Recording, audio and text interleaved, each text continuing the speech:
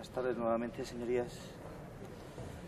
No sé si esto es producto de paces, guerras ni confrontaciones, sino del acuerdo, porque, como refleja la exposición de motivos del Real Decreto Ley, es producto del tercer acuerdo social en defensa del empleo entre agentes sociales y Gobierno y tenía como objeto impulsar medidas para amortiguar algunos de los efectos socioeconómicos causados por la pandemia y, en especial, en lo que hace a esta concreta iniciativa al de salvaguardar el empleo y su calidad y la protección de quienes se vean privados de dicho derecho. El Real Decreto Ley a ese efecto pues extiende una pluralidad de medidas que, como nuevamente no voy a extenderme simplemente a enunciarlas porque han sido objeto de un desarrollo exhaustivo por la señora ministra. Pero voy a citar que se prorrogan automáticamente los ERTES en vigor motivados en causas de fuerza mayor, que se mantienen los ERTES por impedimento, creo que estaban ya creados, señora ministra ha dicho que se creaban, yo creo que se mantienen, están creados en el Real Decreto Ley 24-2020, me parece. Eh, que son eh, cuando, se, eh, cuando hay impedimento del desarrollo de la actividad. se instaura un nuevo cauce para los ERTE por limitación de actividad. A todos los ERTE ordinarios vinculados a la COVID les seguirá siendo de aplicación el artículo 23 de las causas sector, económicas, técnicas, organizaciones y productivas. Continúan en vigor las normas sobre prohibición de reparto de dividendos, las en vigor las de que vinculan las exoneraciones de cuotas de seguridad social con el mantenimiento del nivel de empleo.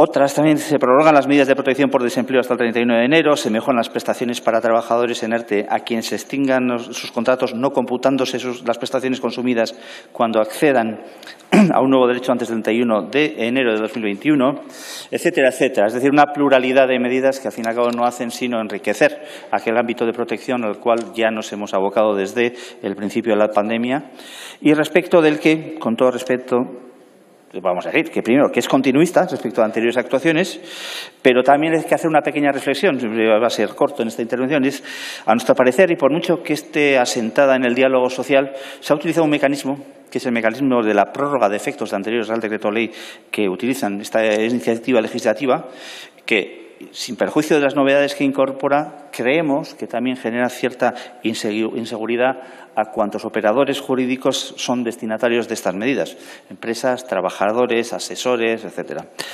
¿Por qué es razonable afirmar que, si bien no sabemos hasta cuándo va a persistir los efectos de la pandemia, lo que sabemos es que no van a ser ni a corto plazo ni a 31 de enero?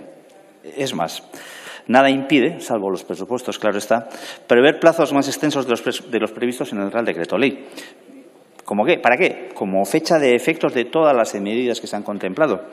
Debe ser posible, señora ministra, que en tanto no quepa precisar el término de los efectos de la pandemia, las medidas, tanto en orden al mantenimiento del empleo como en orden al apoyo a quienes se encuentran en situación de desempleo, o también la de refuerzo empresarial, ¿no? No pueden o deben ser previstos a más largo plazo, en un término medio o largo. Porque a ello hay que añadir que dicha previsión no solo dotaría de seguridad jurídica a sus destinatarios, sino que permitiría a estos que estos puedan contemplar medidas empresariales y laborales de contención de los efectos de la COVID, no solo de más largo alcance, sino también desde otra perspectiva diferente. Dicho esto, entendemos que las medidas, como he dicho, son continuistas, son aceptadas, han sido aceptadas a lo largo de anteriores proposiciones y en este caso también las vamos a volver a apoyar.